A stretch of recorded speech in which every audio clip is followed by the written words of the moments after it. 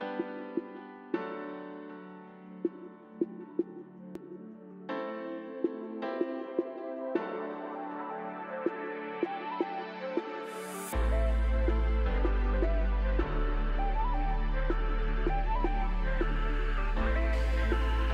Ya estamos de vuelta, bienvenidos todos a nuestro Canet News Podcast. Vamos con el programa número 8 desde Canet, como siempre, hablando de tecnología, cosas útiles, cosas que seguramente para nuestro día a día nos puede hacer falta. Bueno, lo primero es eh, presentarnos, eh, Eduardo Crespo, muy buenas. Hola, muy buenas. Si hay algo que prácticamente está haciendo falta y mucho a la gente y que lo utiliza día a día son esas plataformas de vídeo que han llegado para quedarse, que no tienen demasiado tiempo, pero que curiosamente forma parte esencial de nuestras vidas. Estoy hablando de esas plataformas, de esos vídeos por demanda. ¿Qué son estos servicios, Eduardo? Pues eh, son televisión a la carta. Esto pues consiste en que tú puedes disfrutar de una serie de contenidos multimedia, ya sean películas, series, documentales, programas, en el momento que los solicitas, viéndolo en línea en muchos dispositivos según la, la, tarifa que tengas contratada, que puede ser mensual, trimestral o anual según la plataforma. Y además no solamente lo vemos en la tele. ¿No? Se pueden ver en, en, la televisión, en los móviles, en tablets, en consolas, incluso en los ordenadores, en casi en cualquier sistema operativo se puede ver. En cuanto a contenido, bueno, depende de la plataforma, pero un poco de todo. Sí, eh, normalmente lo que hacen es que compran los derechos de, de, una serie, por ejemplo, Netflix compra los derechos de, de una serie a Fox durante tres meses. Y entonces, pues la tienes disponible para ver ahí. Y también tienen eh, pues contenido propio, que Netflix es pionera en esto, en, en, en crear sus, propios, sus propias series, grabarlas, producirlas, todo ellos, y lo dejan ahí y, todo bien. Bueno, pues Netflix, con ello vamos a comenzar. Vamos a hablar de, de las más eh, conocidas y sin duda Netflix, la plataforma más exitosa, la que todos conocemos. Así es, Netflix, la, que todo el mundo conoce y gran parte de su éxito, pues como he dicho, viene de ser pionera en el negocio de, del vídeo on demand.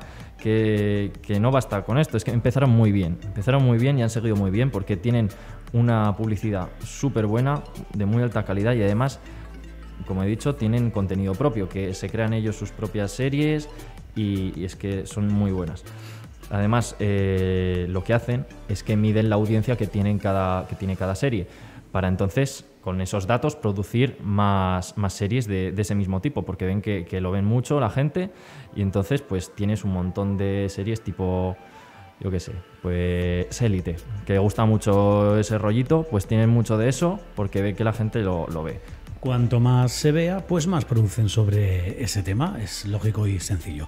Vamos a hablar de algunas de las ventajas de tener Netflix. Pues eh, una de las ventajas que veo yo es la interfaz, que es bastante fácil, porque tú navegas y ves películas, pum, películas, series, tal. Y es muy fácil, te encuentras lo que quieras, solo que tiene un montón de contenido, que eso puede ser una cosa buena y una mala. Buena, porque claro, tienes mucho donde elegir, pero mala, tienes mucho donde elegir. y, también que tiene mucha inversión en, producciones propias. Esto está muy guay porque es algo que el resto no tiene, que solo puedes ver en Netflix. Y también tiene mucha rotación de contenidos. Cada ciertos meses, pues quitan una peli, y ponen otra. Y entonces, pues si lo has tenido Netflix durante un año, pues te has podido ver un montón de series y un montón de pelis de distintas productoras.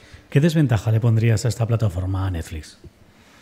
Pues que, por ejemplo, en España tiene bastante menos contenido que en países anglosajones. En, en Estados Unidos, a ver, hay formas de, de, de verlo como si fueras desde Estados Unidos, con VPN, creo pero eso, que desde España mmm, hay bastante poco contenido.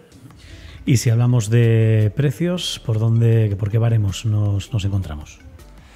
Pues van desde 7,99 a 15,99 al mes que tiene distintas prestaciones, entre ellas pues poder verlo desde distintas pantallas al mismo tiempo, desde una hasta cuatro, es decir, puedes estar en tu casa, eh, en el ordenador, en el móvil, en la tele y luego tu hermano también en el ordenador viendo Netflix y, se puede hacer eso perfectamente, cuatro al mismo tiempo. Y además también, eh, según pagues más, pues también hay eh, la posibilidad de descargarlo, te lo puedes descargar lo, los programas y de verlo en mayor calidad, en HD.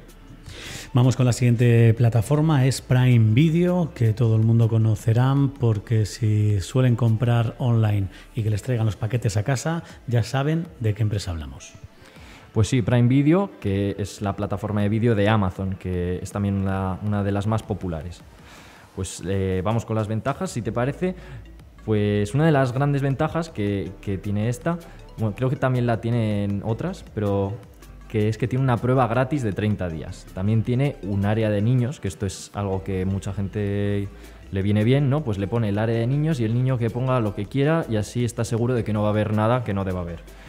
Luego una cosa que me gusta mucho son la, es la función X-Ray, eh, rayos X, que es que tú puedes parar la escena y te sale la información del reparto de todos los actores, ¿no? de la banda sonora y curiosidades y, te sale incluso los timelapse cuando empieza cada escena y puedes ir ahí directamente. También otra cosa que viene muy bien es el ajuste de subtítulos porque de normal en otras lo que pasa es que pones subtítulos y salen en blanco y de un tamaño. Pues aquí puedes cambiarlos a amarillo, eh, los puedes poner más grande, les puedes poner eh, que detrás tengan en negro para que se vean mejor, porque muchas veces pasa que están en blanco, sale una escena con nieve y no ves nada. No, no, no ves nada. Eh, también viene incluido en el, o sea, viene incluido en el Amazon Prime, entonces puedes comprarlo pues puedes comprar el Amazon Prime para, para, que los envíos te salgan gratis y tener más funciones y te viene esto también o también lo puedes comprar por separado. Por separado, ¿qué, sería? ¿Pagar su precio? ¿Qué, qué precio rondan? Pues 3,99 euros al mes o 36 euros al año. Decimos alguna desventaja también, venga. Venga, pues una desventaja, pues que tiene menos contenido que la competencia. Los demás eh, llevan más tiempo y pues tienen más. Bueno, la siguiente es HBO. En esta casa, en este caso nos vamos con otra plataforma que además que creo que son la única plataforma donde puedes ver, por ejemplo, Juego de Tronos. Pues la verdad que no estoy seguro, pero creo que sí, sí, creo que sí. Pues HBO, Homebox Office en inglés son sus siglas, o taquilla en casa en español. Es uno de los canales de televisión más importantes en Estados Unidos que pues extendió a, las plataformas de, de video on demand. Y hay una cosa sobre este canal o sobre esta, esta plataforma y es que en Estados Unidos tiene un montón de canales, una variedad gigante de, canales que se dedica a distintos géneros y públicos y voy a decir algunos, por ejemplo, HBO 2 que se dedica a películas violentas de clasificación más 18. HBO Comedia, comedia. HBO Family, HBO Latino, HBO Signature, que son originales de HBO. Y tiene un montón de canales, un montón. Bueno, también eh, estuvo, dicen que 45 años dándole al boxeo, ¿no? Sí, sí, sí. Era el único canal que, emitía boxeo eh, en esas épocas. Y pues dejaron de hacerlo en 2019 porque ya se metieron otras, otras plataformas y dijeron que eso ya no, no pegaba, ya les alejaba de sus estándares de calidad de la cadena, entonces decidieron dejar de retransmitir boxeo. ¿Y el precio de HBO es? 8,99 euros al mes. Vamos con, bueno, infantil y no tan infantil, porque aquí se aunan muchísimas cosas para toda la familia. Posiblemente de las últimas que han llegado, estamos hablando de Disney Plus, Disney Plus. Sí, Disney Plus eh, llegó hace menos, pero también tiene mucho éxito y no es solo para niños. ¿eh? Es una plataforma de stream que, que tiene todo Disney, todo Pixar, todo Star Wars, todo Marvel y todo National, National Geographic. Y además tiene otra cosa que se llama Star, que es una, una parte que requiere de identificación por control parental, que es donde hay contenido para todos los públicos de muchos géneros. Es como, digamos, que es como Netflix dentro de, Disney. Y antes, eh, antes de estar Disney, estaba dirigido a un público muy infantil, aunque ahora está dirigido a todo el mundo lo que hace que pueda competir muy, muy seriamente contra las demás plataformas o contra Netflix, que es la, mayor. ¿Y si hablamos de precio para Disney? 8,99 euros al mes o 89,90 al año. Y creo que querías, eh, para terminar, puntualizar algo, ¿verdad? Sí, eh, es la razón por la que creo que Netflix es la, la más famosa, que es que Netflix se dedica exclusivamente al stream de contenidos, mientras que el resto el streaming de contenidos es solo una línea adicional del negocio. Disney, por ejemplo, está presente en el cine, en la televisión, en la música, en juegos, tiene parques de atracciones, HBO tiene un montón de canales, como ya he dicho, y Amazon se dedica principalmente, como todos sabemos, al comercio online, a, venderte cosas. Entonces, por eso creo que, que Netflix puede dedicar más recursos y entonces al final pues tiene mejores resultados.